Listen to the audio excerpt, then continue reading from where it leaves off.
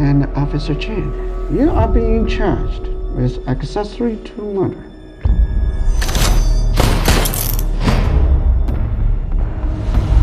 So, what's the plan? I was hoping you had some ideas.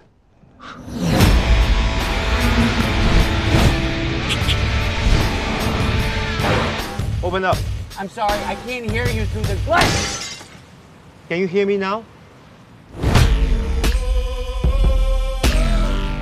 I trust you'll take care of it. I'll think about it. I really miss my favorite uncle. It's not honorable to fight girls. Size D?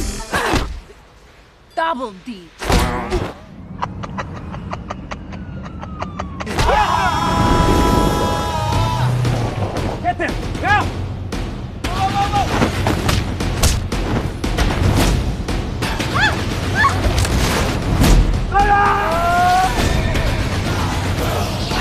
快往后